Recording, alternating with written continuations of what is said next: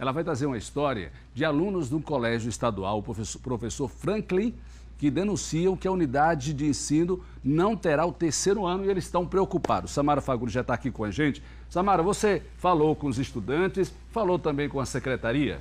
Isso mesmo, Ricardo, e a reclamação deles, esse dilema, né? Mas vamos ouvir primeiro essa reclamação deles. Segundo ano do ensino médio da Escola Estadual Professor José Franklin, a Secretaria de Educação nos prometeu que a gente ia ter terceiro ano e disseram que a gente não vai ter mais. O que é que a gente quer? Então a gente está precisando da ajuda de vocês para a gente poder concluir nosso ensino médio no colégio. Olha, Ricardo, a informação da Secretaria de Estado da Educação é que não tem nada definido ainda.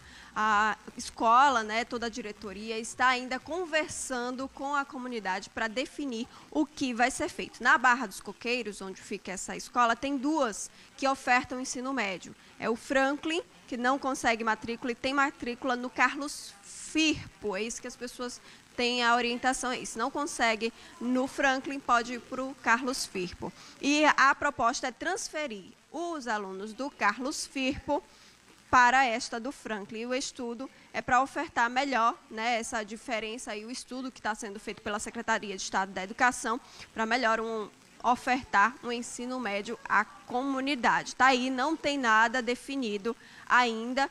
Segundo a diretoria, a Secretaria de Estado da Educação, isso ainda está sendo analisado, viu, Ricardo? Muito bem, obrigado pela apuração. Demos aí a resposta para os estudantes. Obrigado, os estudantes, por confiar no jornalismo da TV Atalaia.